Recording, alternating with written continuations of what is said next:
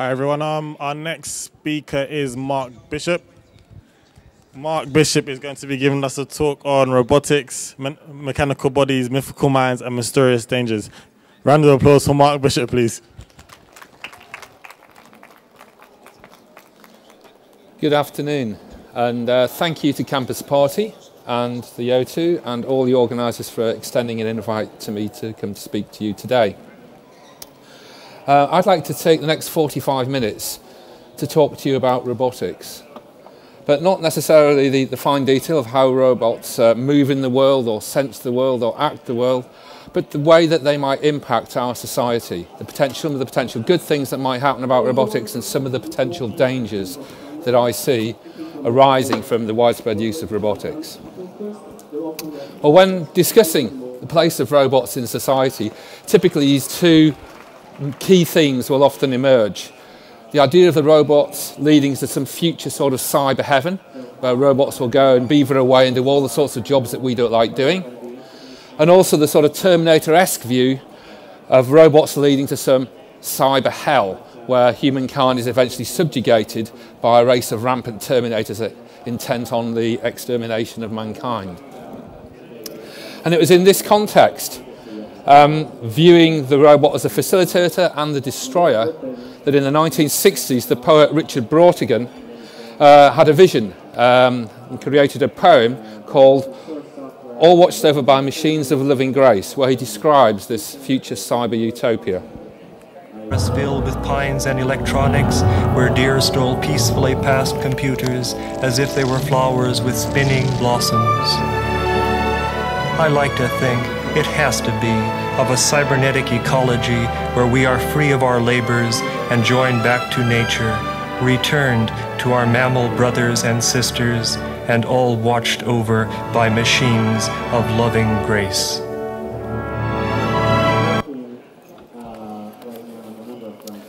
Well, ever since the word robot was first introduced to us by the interwar Czech playwright Karel Čapek with his play, play Rossum's Universal Robots, the common conception of a robot has been some kind of engineered golem, a machine that we can use to take out some of the drudgery of everyday life.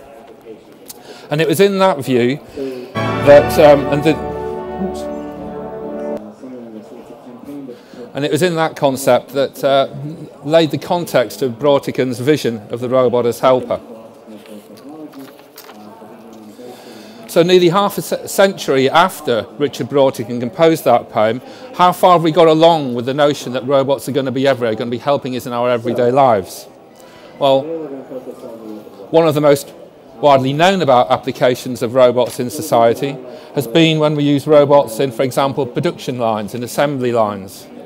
And here's an example of, if I can use the, uh, the cursor, here's an example of a FANUC robot assembling cars, the sort of things you've probably seen countless times.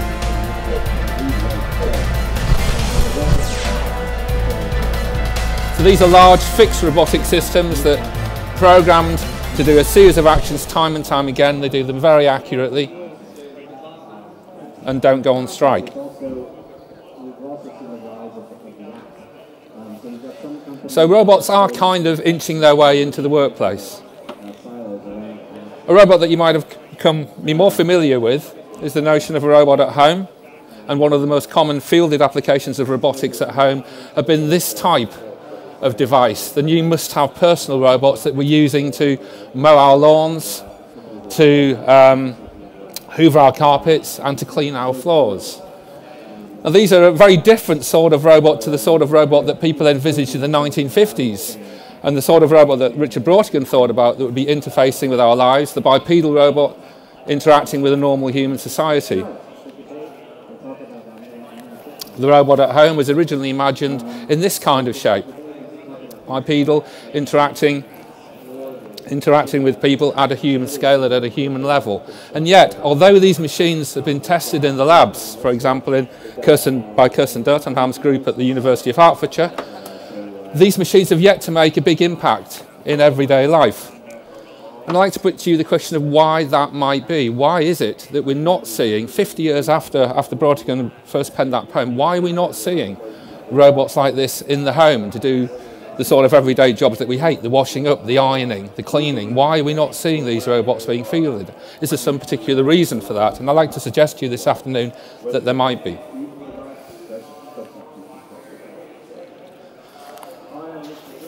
Now,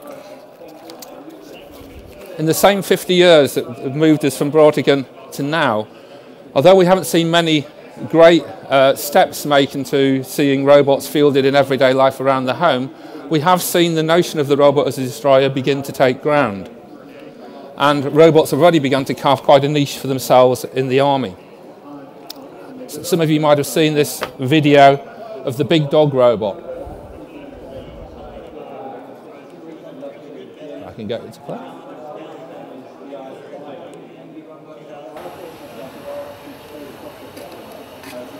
This is an incredible piece of engineering. Um, it's designed to take uh, loads off squaddies into dangerous battlefield situations. Here we see the big dog throwing a large lump of concrete. Now, as somebody spent a lot of time designing robots, the engineering that's gone into that machine is quite stupendous. It's a very difficult task for a robot to do. That's happened. That, this technology is here and it's here now.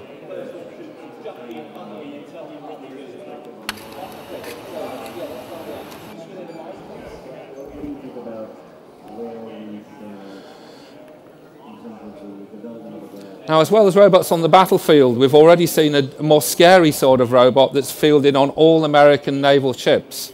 This is the Phalanx close-in weapon system. This particular weapon system is a genuinely autonomous system. When the commander of the ship switches it on, from that moment on, this robot will scan the skies for threats to that ship.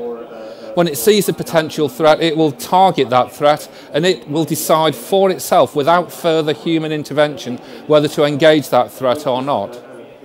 If it decides to uh, uh, engage, it will open up with some very high-speed machine guns and take out that threat before the missile hits the ship. Now, these have been very successfully used for over 20 years, and as I said, they're, on, they're deployed now on all American um, surface ships.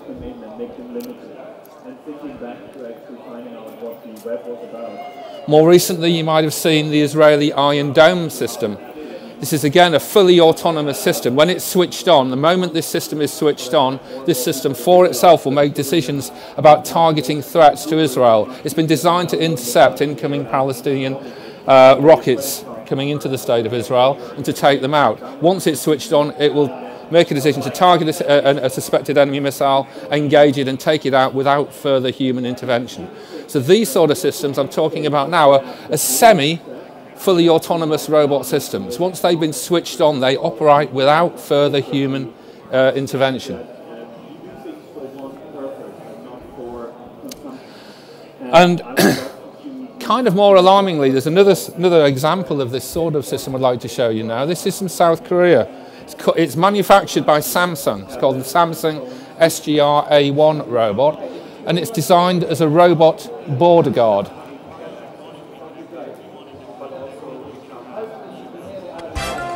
Apologies for the video, it's in Korean, I don't know whether you speak Korean. Um, but this system has been designed to take the place of humans manning the demilitarized zone in Korea. The job of the system is to look for potential insurgents coming across the, de the demilitarized zone, shout a warning to them, and then to alert an, a, a teleoperator, say, look, I've detected somebody, it looks like a threat at the border, and then if the operator so desires, he can press a button and tell this system to engage the target. Now that sounds kind of scary enough, but things are a little bit worse than they seem at first hand because this SGR system has another mode. It has a fully autonomous mode. If you flick a switch, this thing can work completely on its own. Once it's installed and armed, scanning the horizon for, for insurgents, it will, if it sees the target, it will shout out a warning, and if that person doesn't engage with the robot, it will and has the capability to take that person out.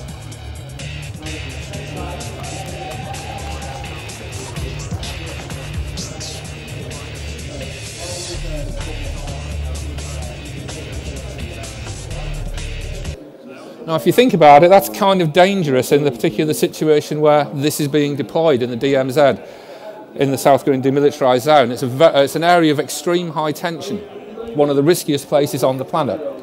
You can imagine if this thing gets it wrong, the potential escalations that might happen.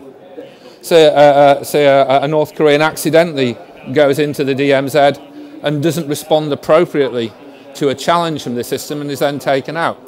That will cause a great rise in tension. But the problem gets even worse if you imagine that North Korea also invests in this technology.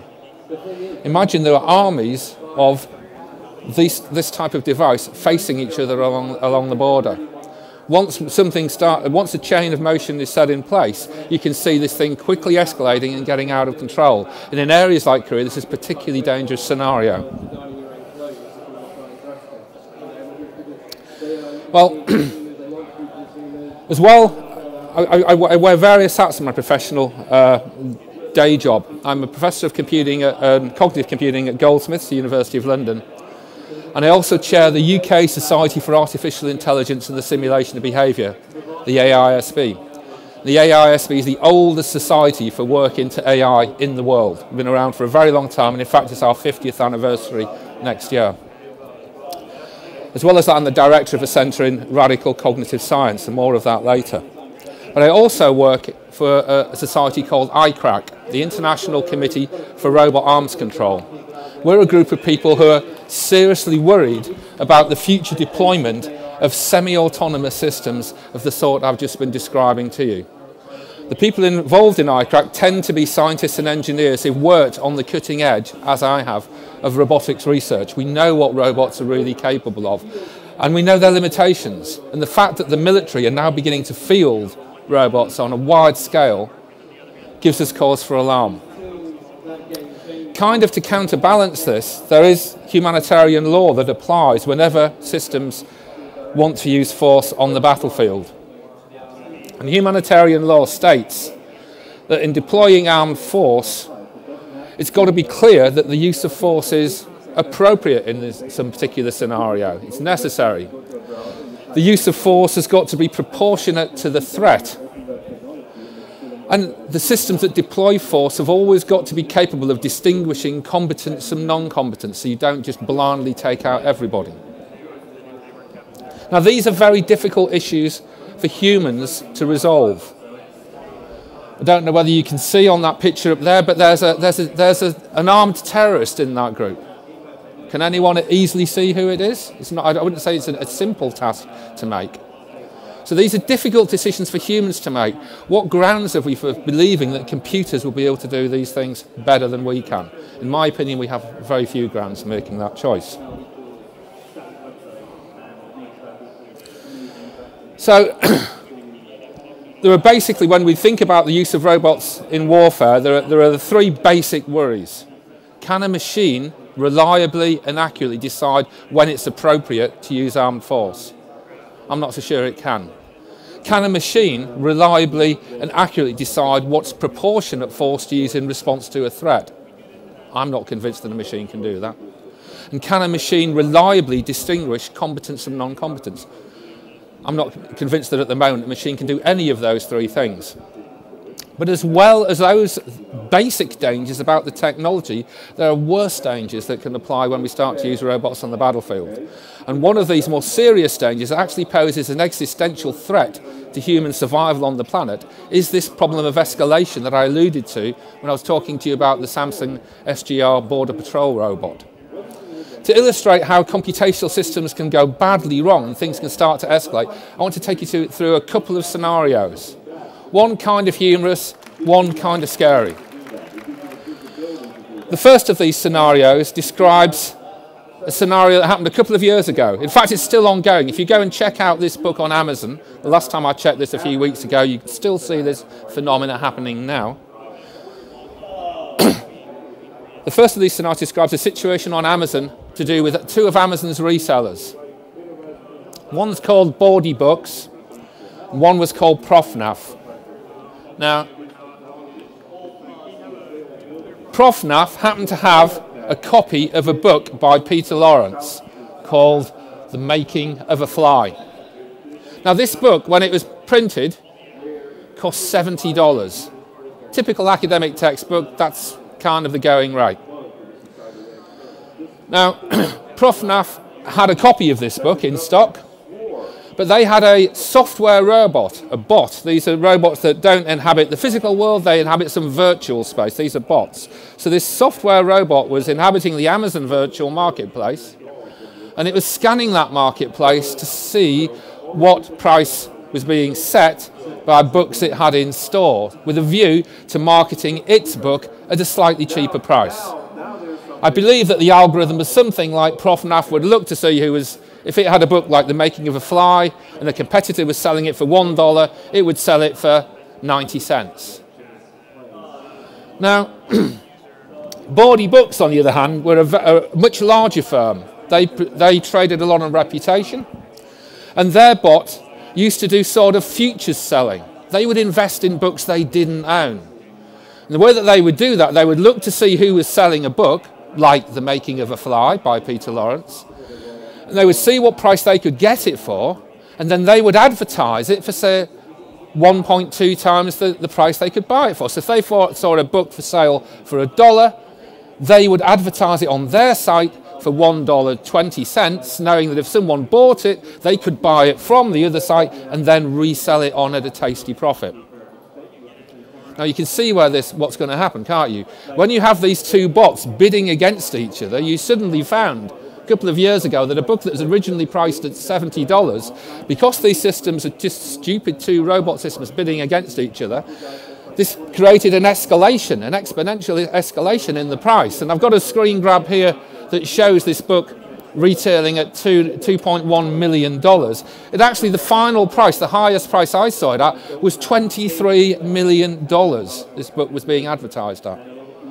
Now, this, this stupid escalation happened because you have two dumb machines bidding against each other without any human oversight. The most half awake of shop assistants who'd seen that escalation happen would have pressed the pause button. That would not have been allowed to happen, but it did happen. And as I said, that, was, that process was still going on a few weeks ago when I last checked. Now, you might think that kind of escalation so on is vaguely amusing. No one's really going to spend $23 million on a book. It doesn't really affect me at all. Well, systems, when they go wrong through automatics can, uh, automatic systems interacting with each other, can affect you. Most people in the room have probably heard of the Cuban Missile Crisis from the early 1960s, where mankind faced Armageddon straight in the face. What you might not be aware of, that there was a similar existential threat to mankind in 1983 when NATO was engaged in a big war exercise called Operation Able Archer at a time of heightened tension with the Soviet bloc. Now, at that time, the Soviet sensors and spies returned back to Soviet HQ incorrect data. And the, some of this data indicated that America was in the process of launching a first strike against Russia. The colonels were then instructed to immediately launch a counterstrike. This is a nuclear counterstrike, and this happened in 1983. And this isn't, again, this allegedly we came within a hair's breadth of nuclear Armageddon because the instruction was made to launch a counterstrike. The only reason that didn't happen is that a mid ranking Soviet colonel realized that something had gone wrong. He did not believe that America had taken this first strike against Russia, and he entered the codes, the launch codes, incorrectly, thus preventing Armageddon. Now, you imagine if a human hadn't been in the loop to make that decision, we wouldn't be here now. So, when you've got computational systems, dumb computational systems, interacting with each other, you have this danger of escalation where things can happen really rapidly and get out of hand really quickly. And when these are coupled with weapon systems, you have serious dangers to confront in the context of the future of humanity.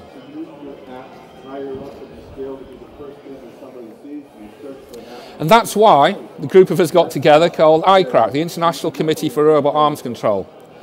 And we, we suggest to you that because of the inherent limitations of computational systems, that in the absence of clear scientific evidence that robot weapons have or are likely to have in the foreseeable future the functionality required for accurate target identification, situational awareness, or decisions regarding the proportional use of force, we question whether they would ever strictly meet the strict international legal requirements for the use of force.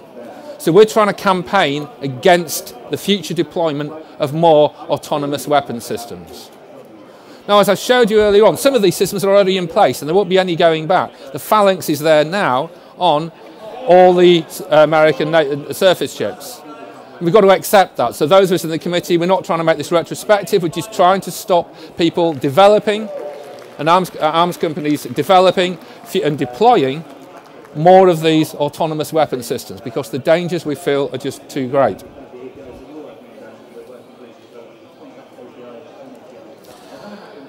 So why has it proven so much easier to build robots that can be quite successful at blowing things up and killing people on the battlefield than it has to build an, robots that can be useful around the home or in the everyday world of human interactions and meaning.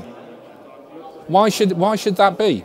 Are there any reasons uh, behind the uh, relative poverty of sophisticated human robot interaction that we see at the moment around the world? Well, I think there are. And I want to sort of complete the few words I want to say to you today by just going through a few of the reasons that I see that are uh, inhibiting the wider deployment of robot systems at the moment.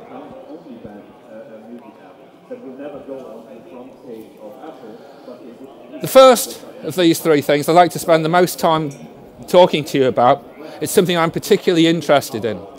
It's an argument from an American philosopher called John Searle. And it's called the Chinese room argument. And if John's correct, this argument suggests that robots can't understand anything now, and worse than that, no robot ever will. A few years ago, I, uh, the, uh, the argument was first published in 1980, and in 2002, I put together a, a collection of essays reviewing the academic thought at that point in time about John Searle's argument then. And I want to take you through a few of the insights that came out of that project. But first of all, I want to take you through the argument itself. Just before 1980, John Searle, this American philosopher, had been given a kind of sabbatical, a kind of like leave of absence from his work. And he'd been invited to spend some time in an AI lab. And he went to work uh, in the labs of Schank and Abelson in America. Now, Schank and Abelson were two AI scientists who'd been working on developing artificially intelligent systems that allegedly can understand stories. Now, when I say stories, I don't mean stories like War and Peace or Lord of the Rings. I mean stories of the form Jack and Jill went up the hill to get a pail of water. What did Jack and Jill go up to get from the top of the hill? Can someone remind me what, what so I will ask you if you understood that story. What did Jack or Jill go up to get? A pail of water. Now, Schank and Abelson's program could take stories of that complexity and people could ask them questions like if they said Jack and Jill went up the hill, you could say who went up the hill, and the program would reply Jack and Jill went up the hill, and you could say why did Jack and Jill go up the hill, and the program would reply to get a pail of water. Now, now, established academics are fairly, normally fairly cautious people, and I'm not suggesting for a minute that Schank and Abelson made the following claims about their work. But postgraduate students, the people who normally are working at the coalface in AI labs around the world, are not so reserved. And some of Schank and Abelson's doctoral students, his grad students, began to make strong claims about this program that Schank and Abelson had built that allegedly understood stories. They said to John Searle, here we have for the first time an AI system that genuinely understands in just the same sort of way that you or I do. This system understands stories in just the sort of ways that you or I do. And John Searle's a clever guy, and he sort of investigated, he talked to Schank and Abelson about how their system worked. I'll give you a brief background now. Their system worked by using things called scripts. Uh, what a script is in computing terms, it's a set of stereotypical expectations that unfold over time. So a restaurant script might be go to a restaurant, open the door, look for a spare table, sit down at the table, pick up a menu, choose something to eat, order it from the waiter, scoff your food, pay for your food, and away you go. That's the sort of thing I mean. A set of stereotypical expectations that unfold over time. That's a script. So Schank and Abelson's program had a big library of scripts over all different sort of things that might happen. In going to the restaurant, in buying things from the shops, all sorts of things. And it, the, their system used these scripts and some simple natural, natural language understanding systems to interrogate stories and give appropriate answers to these stories. And as I said, the claim from Schank and Abelson's postgraduate students was that this system genuinely understood these stories just the same way that you or I might do. So John Searle imagined the following scenario that tried to suggest this was nonsense. John Searle is a typical American, monoglot American speaker, can he only speak English. And he imagined being locked in a room in China hence the name of the experiment, the Chinese room experiment. Imagine being locked in a room in China. And in this room, he saw three piles of papers. One, two, three. And these piles of papers had symbols inscribed on them, squiggles and squaggles, and it meant nothing to him. And also in the room, there was a big fat book and in this book, this book was, there were symbols, but this book was written in English. And John Searle can read English so he could understand the instructions in this book. And what the instructions in this book tell him to do is that if you see a, a shape of this type in bucket one and a shape of that type in bucket two, then put a third shape in bucket three. If you see a shape of a particular type in bucket two and another one in bucket three, hand out a shape through the slot in the door to people in the outside world. Well, after a while, John Searle, when he followed through this rule books, he got to be able to do this really, really well and really, really accurately.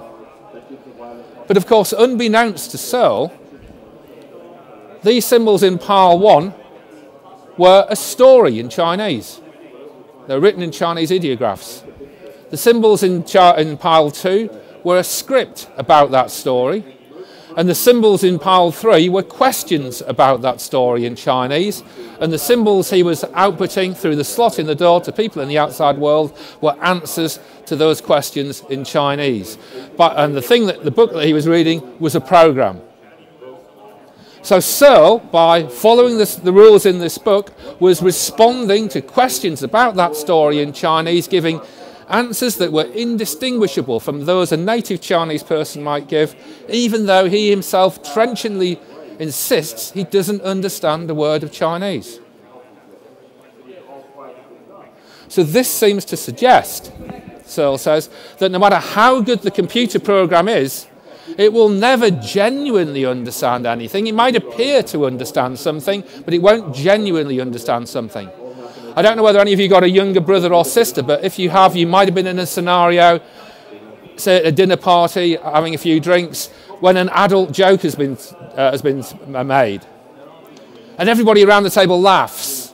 And the little brother or sister, six or seven year old, also joins in the laughter, even though you know damn well they haven't got the joke. This is the kind of thing that Searle's suggesting that a computer might give the simulation of understanding, but it never really understands. So that's one reason why I don't believe, why I believe that uh, we, we're not seeing robots in open scenarios interacting with humans around the home because they don't understand anything.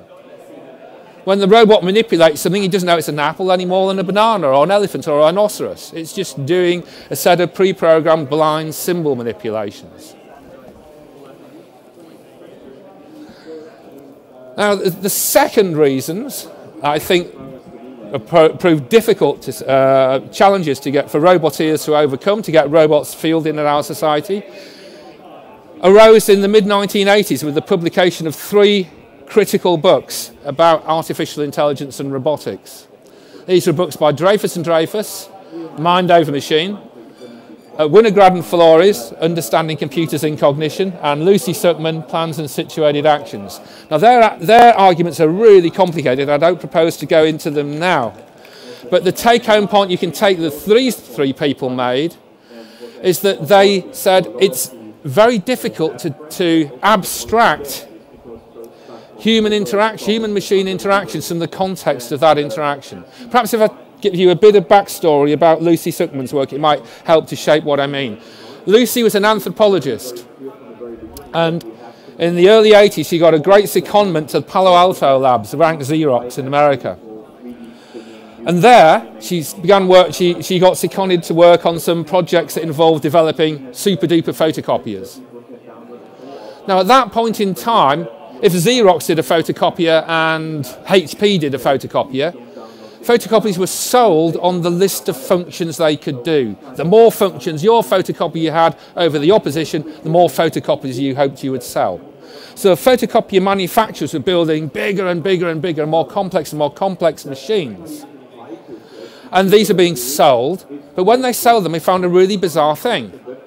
Most of the people that bought these copiers barely used any of the functions on them. If these machines had, could do 100 things, 99 of the photocopies they ever sold would only be used to do three things. And that's because the complexity to drive them went up through the roof. So, at the labs at Palo Alto, Lucy was charged with the task can we use artificial intelligence to make the human machine interaction simpler so that people will be able to use our complicated super duper photocopies to do a wide range of things really easily. And to cut to the chase, what Lucy found is no. Because human computer scripts effectively have to be programmed for particular scenarios and they're very inflexible or brittle is the word that we use when they're faced with the broad range of human computer interactions that we actually meet in the office. In other words, that this is actually an insurmountable problem and it's to do with the richness and the social embeddedness of human-machine interactions, which, which machines just can't grasp. Now, the third and final um, reason I wanted to allude to today for why um, machines have had a barrier to, to uh, why we're not seeing robots in use uh, in the home and widely in human uh, interactions and in society is because I put it to you that machines aren't conscious. The computer can't be conscious. We can't instantiate consciousness merely by the execution of some computer program. Now, if we can't, if a machine can't feel, if it can't be conscious like you or I, I suggest to you that it can't really have its own desires. If a machine can't feel hunger, it won't have a need to sate its hunger. If it can't, if it can't feel that it wants something, it can't put a plan in place for itself to go try and achieve that something.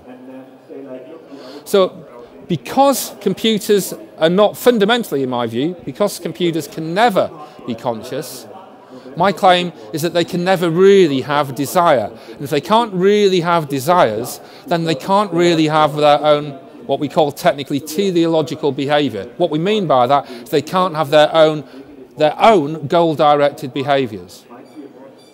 Now, of course, that's not to say that the engineer could hardwire into a machine that it might want to do something. You can imagine some sort of future James Bond, James Bond villain paying for a big army of robots to take over the world and when these robots were being built, he could insist they were designed to go out and hunt and shoot humans because he programmed them or he forced them to be programmed in that way.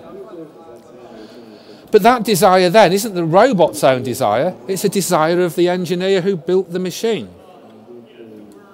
My claim is that without, um, without having their own consciousness, um, a robot can't have a desire for itself and so the robot will forever remain empty of grace. Now, I've whizzed through this a little bit quicker than I have to. I, what, what I've now got the time to take you through is to show you why I don't think a robot can be conscious. I wasn't certain I'd have time to do this, but I have, so that's all good. Oops. So I'll just skip through. So why might it be that a robot can't be conscious? Well, if, it, well, if, we, if we did have conscious robots, then we can imagine that the Hollywood vision of the future robot dystopia populated by Terminator machines might be a realistic possibility. I'm going to suggest to you that that's not going to be the case. But before I do that, when I talk about machine consciousness, some people say to me, well, who the hell takes that seriously anyway? Who really seriously believes that the mere execution of a computer program in a machine will give rise to something that can see and feel like you or I? In other words, am I attacking a straw man? Well, I suggest to you that I'm not because the view that machine consciousness can happen, machine consciousness is the view that there's something it is like to be, there's a subjective aspect to the dynamic execution of a particular computer program. Well, this view is certainly academically reputable because there's an international academic journal of machine consciousness. So there certainly is at least some people who take this notion very seriously. And I've got two videos that will show you some systems that have been designed with this in place.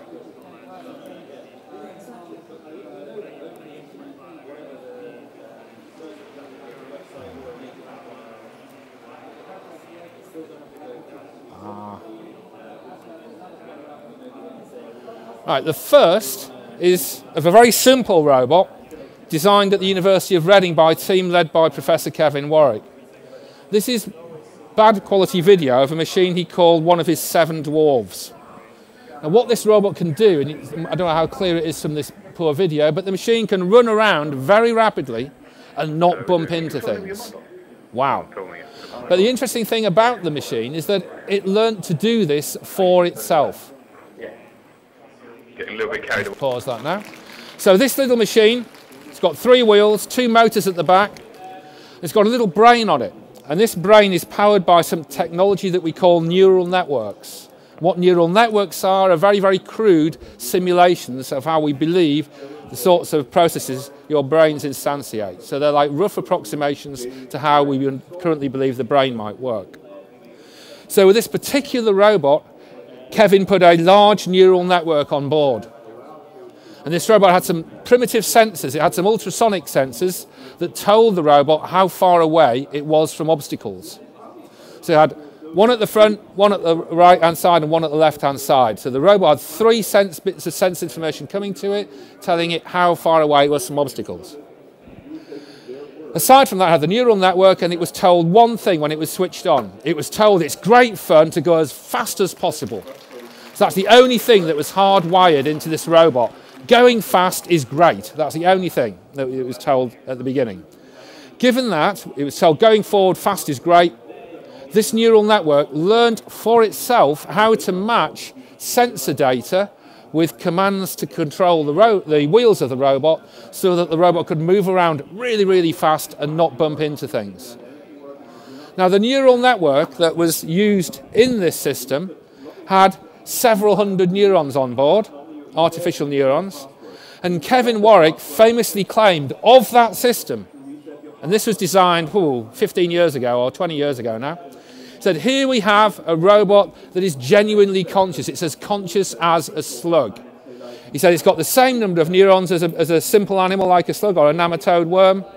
And he said it's purely human bias if you say of a nematode worm that it can move around and not bump into things and it has some sort of conscious life, if my robot with the same size neural network can do that, it's purely human bias if you're going to say this biological system can be conscious and not my machine system. So Kevin was fairly strident about that. He was very convinced that, that there we have already a system that's conscious. Oops.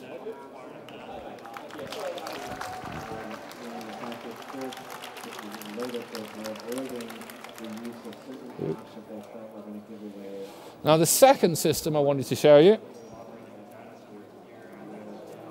was by Professor Owen Holland.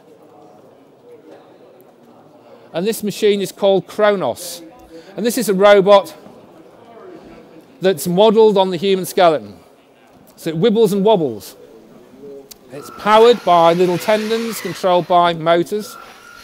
And you'll see the thing move around and it can go and grab things, lift things up in its environment. Why did Owen suggest that this might be a conscious robot? Well, as well as designing the CRONOS robot, Owen also designed, using some state-of-the-art games engines, a software simulation of CRONOS and the environment that CRONOS was in. So you can imagine, there's the real CRONOS. In the lab next door, there's a little virtual reality system running which has got a very detailed representation of CRONOS and CRONOS' immediate environment.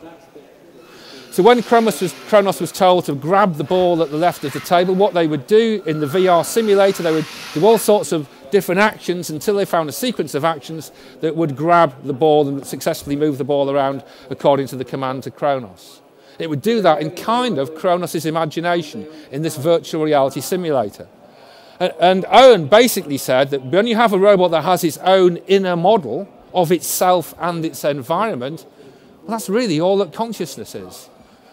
So this system, the, the CRONOS robot on its simulator SIMNOS, were the first steps, said Owen Holland, to building genuinely conscious robots. and Owen was very successful in designing these robots and attracted a lot of very competitive and hard to achieve research funding for these projects. In the UK, over several million, and also large grants from the European Union to develop these ideas. So these ideas are being taken very seriously.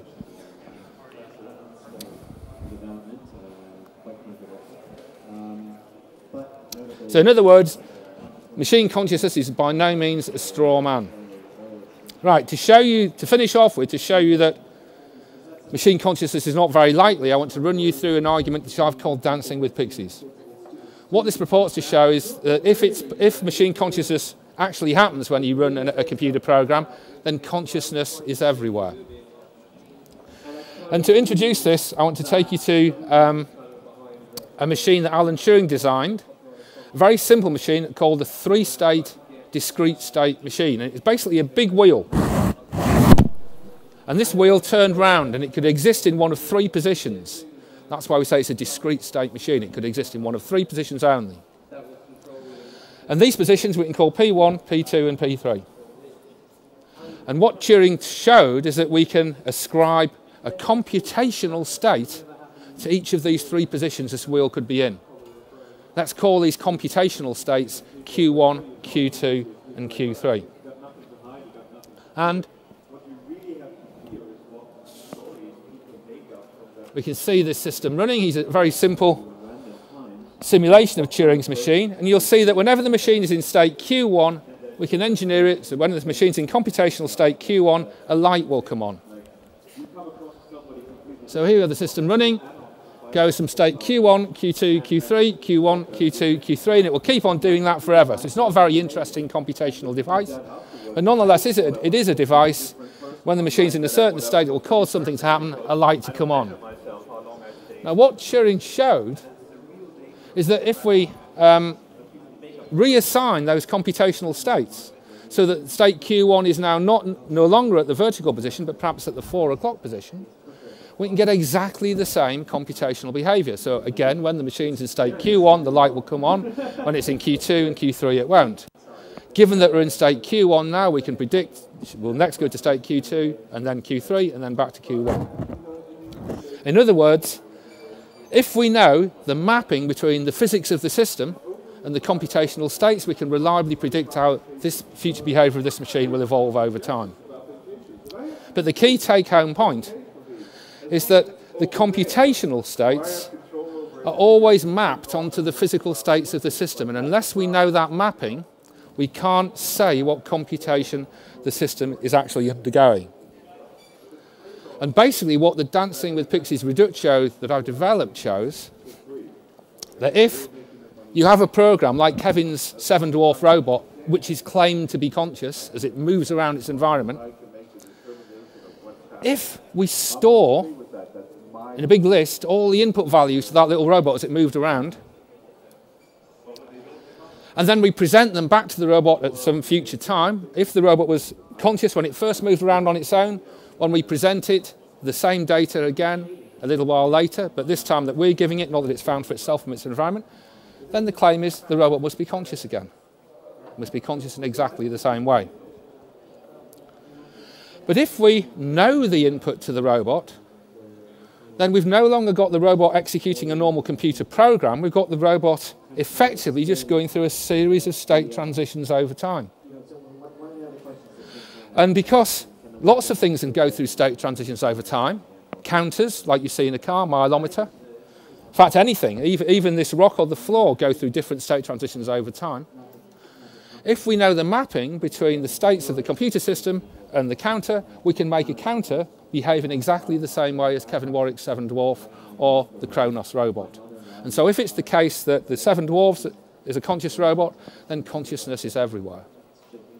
So that leads me to suggest, because we don't really want to think that chairs are conscious, floors are conscious, tables are conscious, digital counters are conscious, that leads me to suggest that just the execution of a computer program on its own is not sufficient to bring forth consciousness. And on that, on that note, I think my time is up, and I'll take some questions.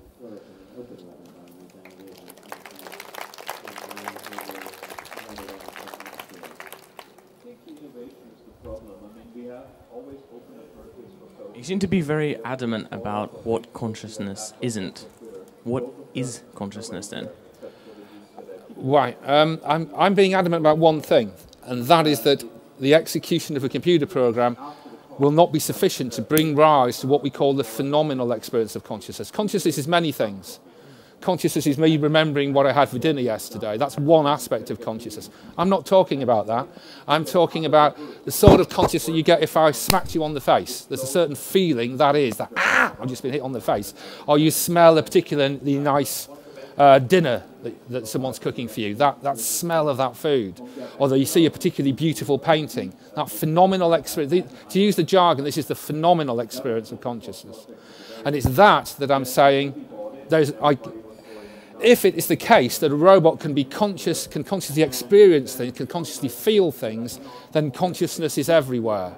Technically, that's, the, that's called panpsychism, the view that everything is conscious. So my fundamental claim is that if you really take seriously the notion that machines can be conscious, then you're led to believe that absolutely everything is conscious. Now, some people might be happy with that, but most people who work in university research labs are a bit shy from going down that route. So we tend to think the other case is true, that it's impossible to instantiate consciousness by the execution of a computer program. So what you're saying, we don't really know what consciousness is? Uh, not, not at all. What I'm saying is that you, I, you know what it feels like to uh, smell a nice smell or to feel pain. Yes? You, you understand what I mean? When yeah, I, of course. Right. What I'm saying is if it's the case that any computer program, you build me a program like Kevin Warwick did with his Seven Dwarfs, you say, this machine is conscious, it really feels. Now that's a, that's a claim that someone has made to me. If I run you through the, the full version of this argument, called the Dancing with the Pixies argument, it's quite a complicated argument, I'll give you a very brief summary of it today. That argument leads you to say that if that machine is conscious and smells uh, the ineffable scent of a rose just like you do, then absolutely everything in the world is conscious. That's yeah, the view that, that. panpsychism's through. And that isn't a view that's taken very seriously in research labs. So most people reject the idea that a computer program can be conscious. It's called the reductio ad absurdum argument. You, you prove yeah. your conclusion by showing that the contrary leads to an absurd conclusion. That I understand. What is so special about us? What do you define as, what are you looking for in the consciousness? I'm not being carbon centric or carbon chauvinistic. I, I, very much hope that we will get a good understanding of what human consciousness is and the biology that underpins human consciousness. The only very minor claim I'm making is that whatever consciousness is, it is not fully explained by the execution of a computer program. Okay, now, yeah. that might not seem yeah, very controversial to some of you in the room, but to some people that, that, uh, who are very embedded to the notion of strong artificial intelligence, that's a strong result to come with. All right, thanks.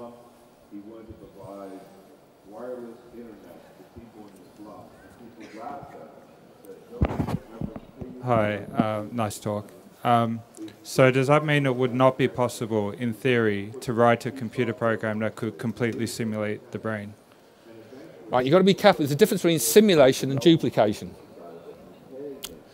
I can write a computer program now that if I tell it uh, uh, a riddle or a joke, might output ha ha or laugh. Yeah?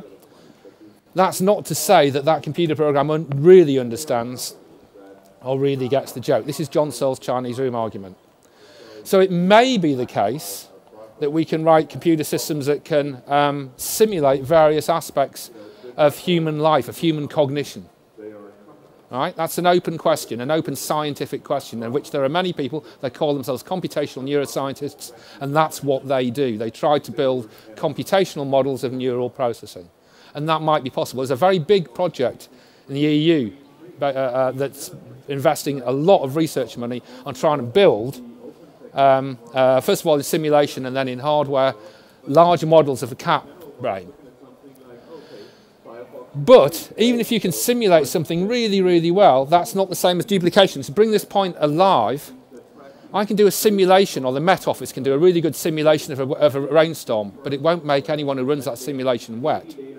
Or more to the point, I can do a really good simulation of gold on my computer, but it doesn't make me rich. Simulation is not the same as duplication. So we might be able to simulate aspects of human cognition, but I, it is my contention that we won't instantiate them, we won't duplicate them merely by the execution of a computer program. Does that answer your question?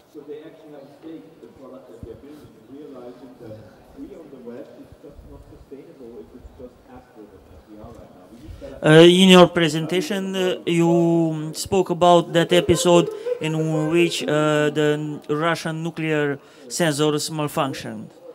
Should we be afraid about action and decision taken by an artificial intelligence on our behalf? Very much so. That's the, precisely why I, I wanted to come and speak to you today, to bring this is one of the campaigning issues I'm very passionate about. We're seeing at the moment America, America now has got more robot aircraft than it has aircraft piloted by humans. Now, the, at the moment, these robots are what are called drones. They're like remote control machines that someone in a little bunker safe in America is piloting around the world. They're not genuinely autonomous flying for themselves, seeking out their own targets and deciding when to engage. But I'll tell you this, that America is working to design just such robotic systems. If you think about it, it stands to reason. Because at the moment, these drones are generating huge amounts of intelligence that humans have got to go through and painstakingly sift through. That costs money. If we can get a machine to just fly itself, make its own kill decisions, that saves America a lot of money. So there's a great commercial impetus to try and move from drone technology, which already is annoying quite a few people, to fully autonomous weapon systems. Now, I think that this, apart from the political dangers of doing that, and I think there are many, as I try to show you, I think there are great technological dangers inherent when we start building autonomous weapons machines, colloquially killer robots. And when we start putting thousands of them in the service around the world, the likelihood that two opposing forces, um, perhaps Russia and America, perhaps China and America, perhaps China and Russia, will kick off and you get some automatic escalation, like with that book price. I think that danger is very, very real. When you have these systems armed with conventional weapons, that's bad enough. But just imagine if these systems are linked to nuclear weapons, then we have a genuine existential threat about mankind's future. And that's why I think the time is not five years' time we should be worried about it. It's not one year's time. People ought to be campaigning against this now. And in fact, just this year, I've been at a meeting of the United Nations in Birmingham making this case. And one of my colleagues went to a meeting in Geneva, and we've tried to get a moratorium on the fielding and deployment of autonomous weapons for these reasons. It's something you ought to be concerned about. I'm going to be dead in a few years' time, but you lot have got a lot more of your life to live. And it'd be, I think it's quite an alarming world that you might be moving into when you have large-scale deployment of autonomous killer robots. Thank you, Mark Bishop. Can I have a round of applause for Mark Bishop, please?